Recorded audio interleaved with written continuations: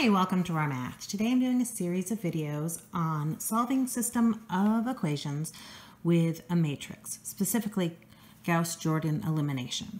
So here I have a pretty simple system of equation and the first thing I want to do is I want to write it as a matrix.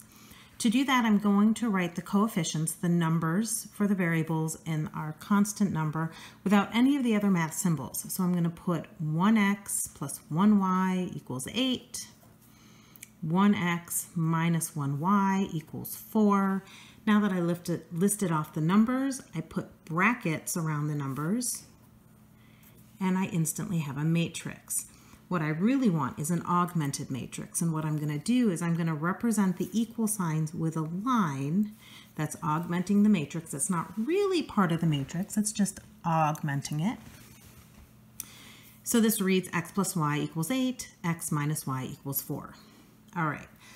What we do when we are using elimination is we're trying to get all of the major diagonal. So a matrix can have many, many more rows and columns. And an identity matrix is one where everything is zeroed out except everything along this main diagonal.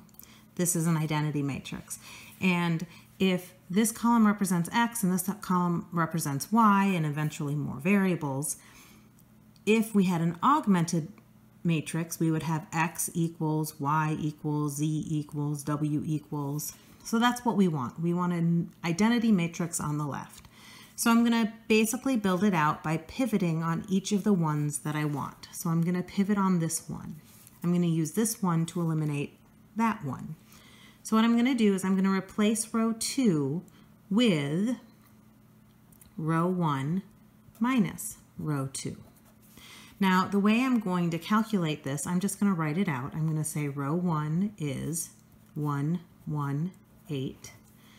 Negative row 2 is, and I put that negative in there because I want to make sure that I add down throughout. If you start to subtract, you're going to eventually make a small mistake. And on a small system like this, that's not so bad, but there are bigger ones, ones that look more like this. And you want to make sure that you control everything really carefully so you don't drop a negative and do the wrong operation. All right, negative row 2, negative 1, positive 1, negative 4. When I add down, I get a 0, a 2, and a 4. The next thing I'm going to do is I'm just going to divide those three numbers by 2. So I have a zero, one, and a 2 because that's going to save me a step in my matrix. Okay, so I'm going to move across. I didn't change my first row, 1, 1, 8. My second row became zero, one, two. Brackets for a matrix, line for an augmented matrix. And now I'm going to pivot on this one. I'm going to use this one to eliminate that one. So I'm going to say row 1 minus row 2. Again. This time I'm just going to subtract in line because row 1 is already on top, row 2 is already on the bottom. 1 minus 0 is 1. 1 minus 1 is 0. 8 minus 2 is 6. And then I rewrite my 0, 1, 2. With my augmented matrix notation, you see that to the left of the line, I have my identity matrix. This translates to x equals 6, y equals 2. As always, we want to check our work. We come back to our original system. Is x plus 2 equal to 8? Check. Is, sorry, x, 6, adding in my head. Um, is 6 minus 2 equal to 4? Sure is.